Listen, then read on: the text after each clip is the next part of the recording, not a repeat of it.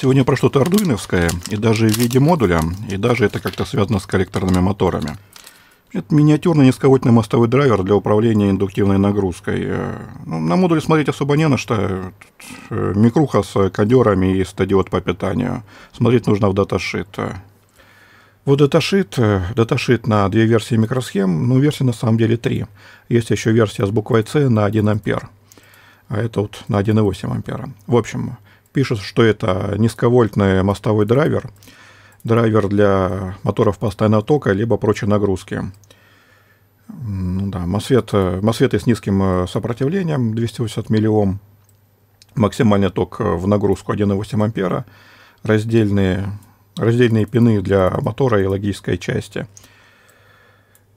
То есть питание, напряжение питания у моторов от 0 до 11 вольт, логической части от 1,8 до 7 вольт. Э, то есть 3,3-5 вольт можно подключать спокойно. У двух этих микросхемок э, различное управление. Если, если у нас, э, как у нас, 8837, у нас классическое управление с двумя полумостами. 38 управление э, логическое, вроде как у шаговых движков, у драйверов их. То есть одной ногой мы крутим, в зависимости от нуля либо единицы, мы крутим мотор либо вперед, либо назад, а второй ногой мы включаем либо выключаем его. Это у нас низкое потребление в, в Sleep Mode 120 микроампер, ну да, управление ногой. И маленький размер корпуса, 8 пин размером 2 на 2 миллиметра.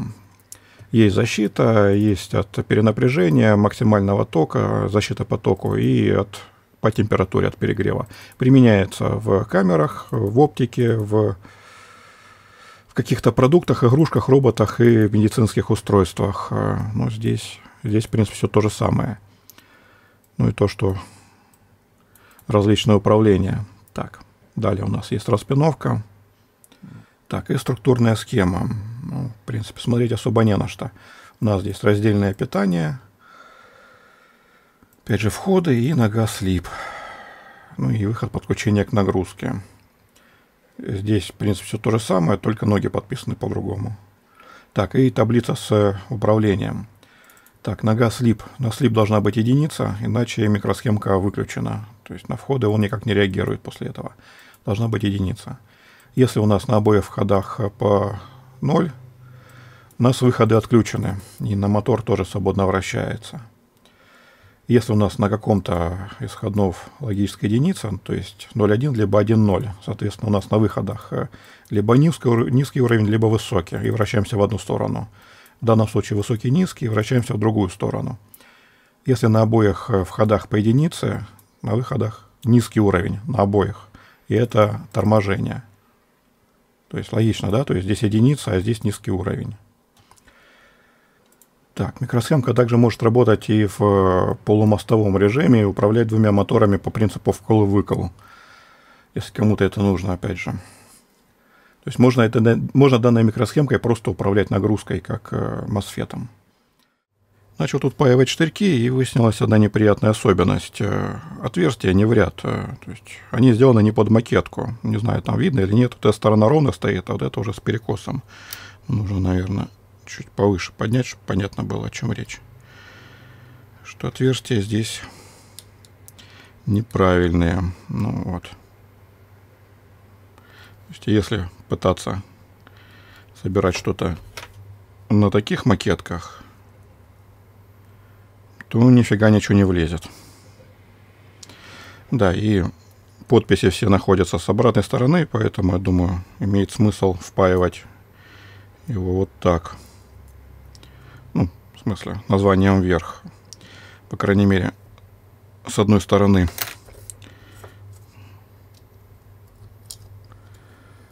А подключение моторов уже подпаяют так. Да, неприятная особенность, конечно.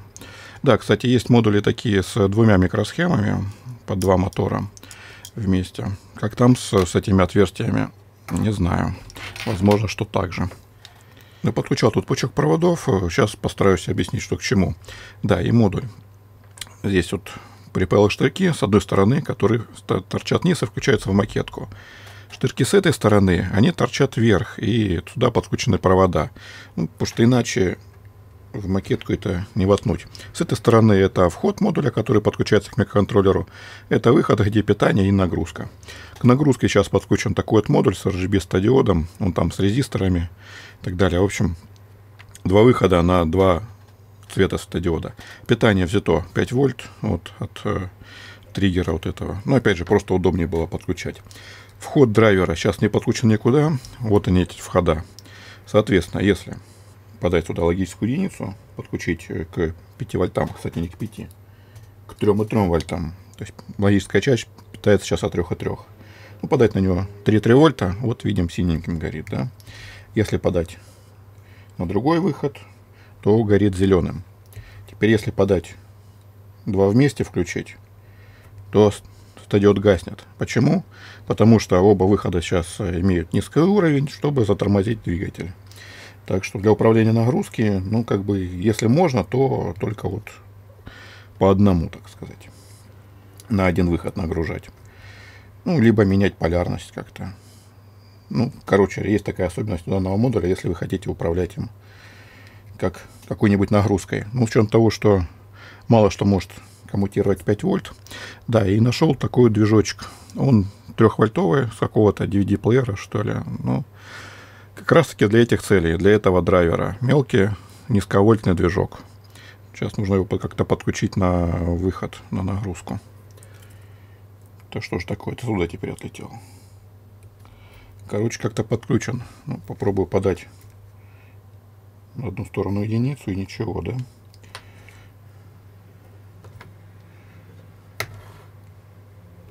А, вот. Теперь есть, работает. Если подать на другую, то крутится в другую сторону. Не знаю, видно было или нет. Ну, в общем, крутится он по-разному. Так, тут загораживает все.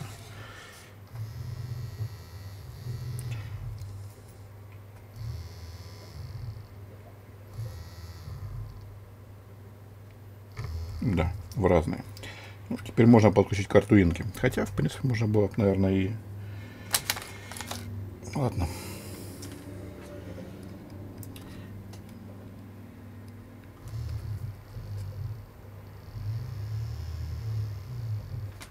Седьмой, восьмой, и там, видимо, какой-то код загруженный, поэтому поэтому начал работать. Чтобы выключить, опять же, можно... Что я отключил? Выключить можно просто увести его в слип. Ну, так-то драйвер работает. Теперь, собственно, к коду. Набросал я здесь код, э, ну, он максимально примитивный. Опять же, здесь мы просто указываем, каким э, выходом Arduino что подключено, каким ногам. На 8 и 9 подключены входы полумостов драйвера. На третью ногу подключен э, вход слип, вход включения самого микроконтроллера. На него будем подавать шим-сигнал для управления скоростью вращения двигателя. В сетапе конфигурируем полумосты, наши выходы для полумостов на выход, а в цикле включаем мы включаем полумосты. То есть один включаем, второй выключаем, чтобы запустить мотор, чтобы он вращался в одну сторону. А дальше это из э, примерчика фейдинг, то есть который плавно увеличивает, а потом уменьшает э, шим-сигнал на выходе, то есть для управления скоростью вращения двигателя. Когда отработали, меняем скорость вращения мотора, просто меняя, меняя включение-выключение полумостов, ну и дальше то же самое. И все это дело будет происходить по кругу. Загружаем в Arduino. Тут даже можно, наверное, на запись нажать. Так и даем питание на выход 5 вольт. Ну и вот он разгоняется, останавливается, начинает крутиться в другую сторону. Ну и так, так в цикле.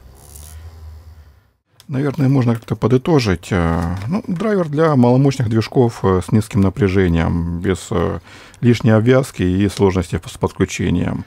Вход слип можно шимировать, ну а значит этим модулем можно заменить какую-нибудь древнюю L293 которую зачем-то ставят с низковольтными движками. Ну, только, наверное, двумя такими микрухами, если, конечно, оба канала нужны.